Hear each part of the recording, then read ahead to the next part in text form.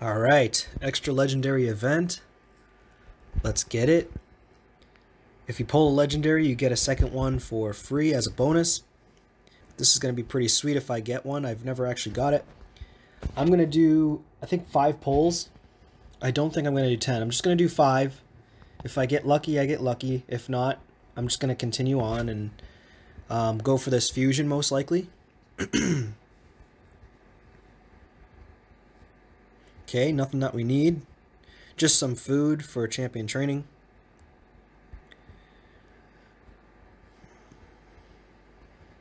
Come on. Get lucky on here. This is it. Nope.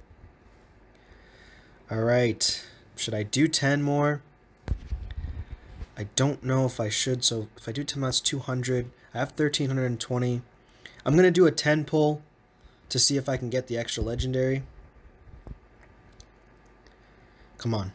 Get lucky here. is a good champion. Gizcard's a good champion. I already have him. Alright. You know, I'm probably just going to...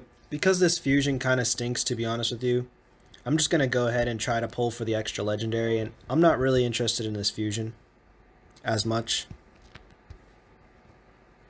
Masamoto, he's okay. Defense-based champion. I'm to make some room real quick and I'll be right back. Alright, we're back. I'm going to go ahead and pull the rest, oh, I don't have enough silver, so let me just sell a couple items. Come on, get lucky here.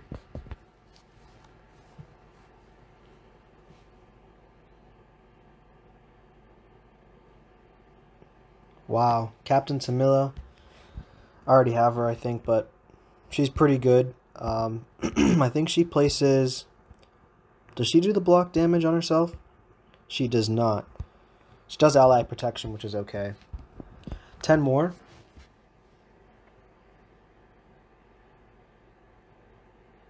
Come on, please get lucky here. Wow. Okay. That stinks, and that's why you do not pull your shards. They try to trick you, so good luck on your polls. Take care.